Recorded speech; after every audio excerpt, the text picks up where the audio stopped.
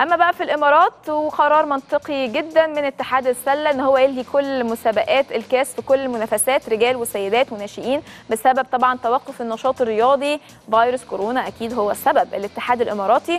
قرر إنه يمد ماتشات الدوري العام في كل المراحل لبداية الموسم الجديد ولكن ما يكونش في بطل لدرع التفوق العام اللي بيكون في نهاية الموسم لأن الموسم الحالي أكيد هو استثنائي واتلغى منه مسابقات الكاس والتوقف الطويل.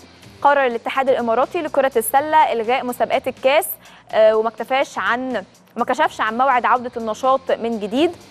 وده طبعا الحال في كل الرياضات تقريبا. يعني توقف النشاط الرياضي أو تجميده لأجل غير مسمى لحين إشعار آخر. ده طبعا كله بيتوقف على مدى سيطرة العالم كله على فيروس كورونا.